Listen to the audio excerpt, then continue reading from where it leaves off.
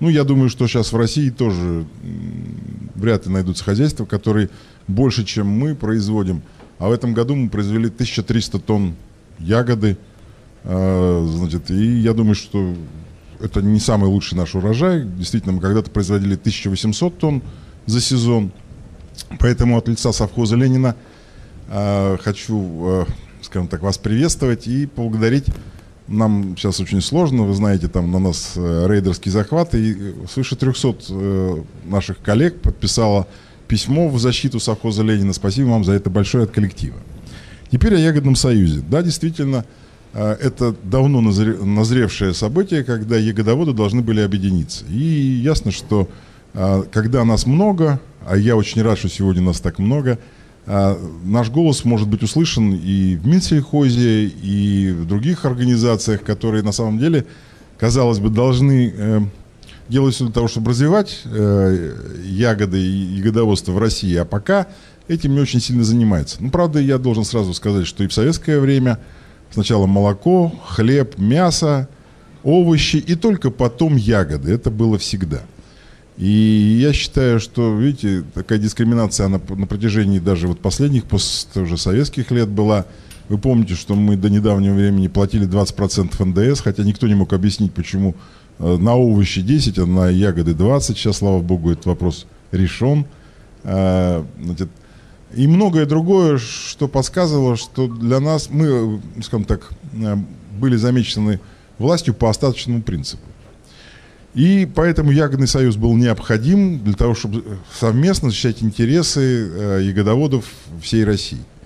Если говорить о том, что за два года, а больше всего мне хотелось бы сказать слов благодарности еще Ирине Кози и ее сотрудникам, потому что э, на самом деле они основные драйверы, так сказать, всех этих изменений, именно они э, заставили Минсельхоз слушать э, и включить в рабочую группу представителей Ягодного союза. Именно они ставят главные вопросы, связанные ну, с защитой растений, с невозможностью получения новых сортов, э, ну, сложностью их оформления через госкомиссию. Именно они занимаются лоббированием наших интересов в э, скажем, Минсельхозе, ну и в других органах государственной власти.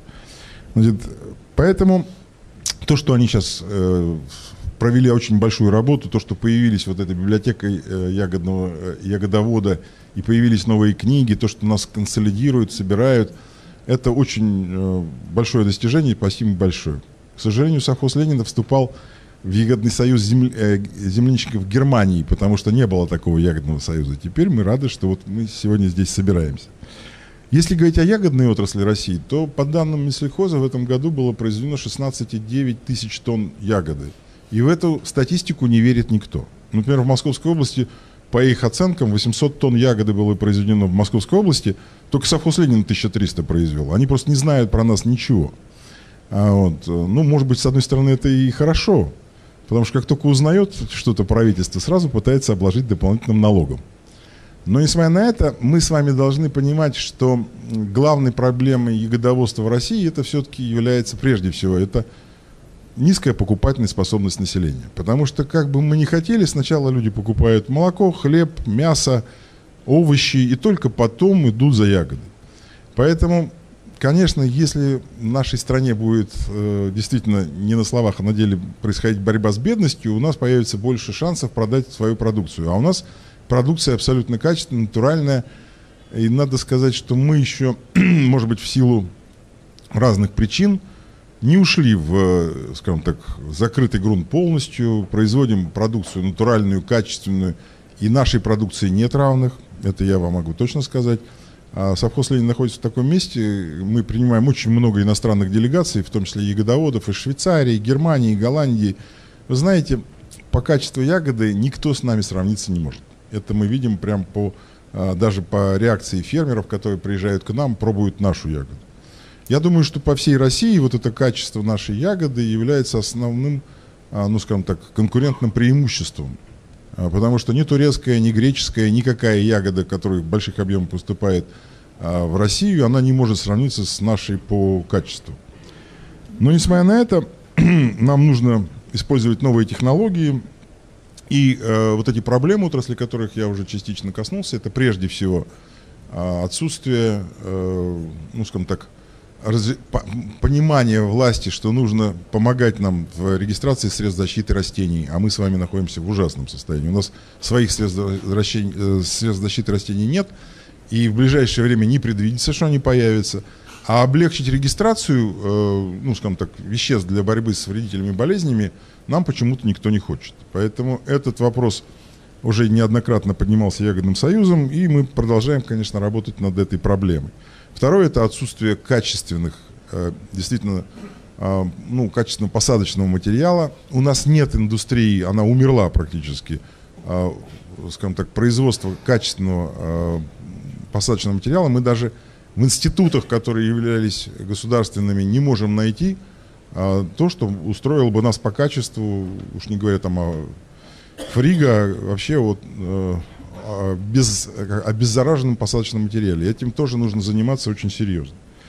Мы, конечно, вот страдаем от недостатка э, зарегистрированных качественных сортов и усложненной регистрации. Но вот в этом отношении Ягодный союз э, вместе с Госкомиссией по сортоиспытаниям, кажется, начал двигаться в правильном направлении. Сейчас нам э, обещают, что будут облегчены э, регистрация сортов – тогда мы сможем, ну, скажем так, на э, паритетных, ну, на равных э, бороться с нашими иностранными конкурентами, потому что их сорта меняются ну, практически мгновенно, если посмотреть, и многие из них, к сожалению, пока не допущены, но мы уже теряем от этого. Ну, естественно, главной проблемой всех нас э, присутствующих является, к сожалению, отсутствие кадров подготовленных кадров для производства ягод. Потому что я, например, считаю, что агроном-ягодовод – это высший пилотаж агрономии. Это вам не овощи, не зерно. А, значит, э, тут э, это, э, скажем так, огромный масштаб знаний по борьбе с вредителями, по а, защите плантаций. А я вам напомню, что все-таки большинство нашей территории России это все-таки зона рискованного земледелия.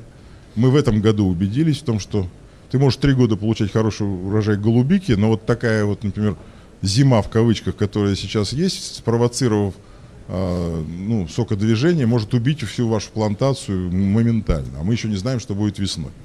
Э, и что там произойдет, когда мы снимем э, укрывной материал и поймем, в каком состоянии плантации. Поэтому это очень сложная задача.